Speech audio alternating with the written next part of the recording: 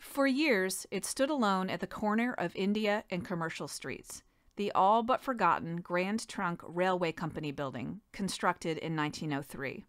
Once an outbuilding for the sprawling 1901 Grand Trunk Railroad Station, the three story company building was all that remained after the station complex was thoughtlessly demolished beginning in 1961. But decades later, there was good news for the fortunate survivor. In 2016, seeing an ideal location for a suite of corporate offices, Gorham Savings Bank purchased the building and initiated a rehabilitation project using historic tax credits.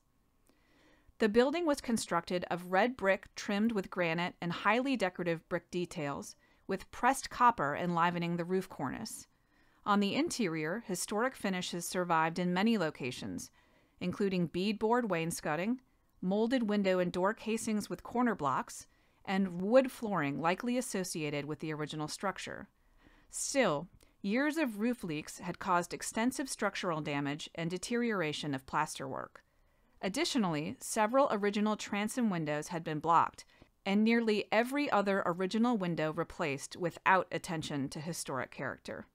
Gorham Savings and its many development partners, including Developers Collaborative and Archetype Architects, repointed all the exterior brick while unblocking all second floor window openings. New wood windows were fabricated, along with exterior storms, once again providing stunning views of Portland's waterfront.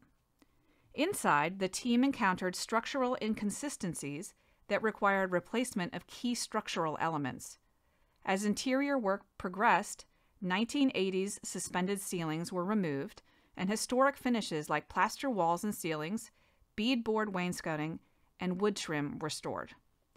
Teams also removed the decorative copper cornice around the edge of the roof and completely reframed the structure. Now, with the original copper back in place, the cornice should endure for another century.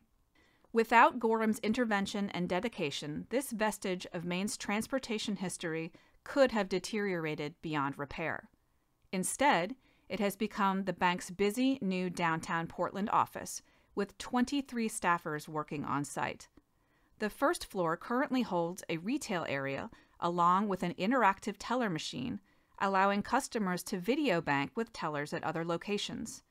The second floor is occupied by Gorham Savings marketing and business banking staff, while the third floor holds executive offices and a boardroom.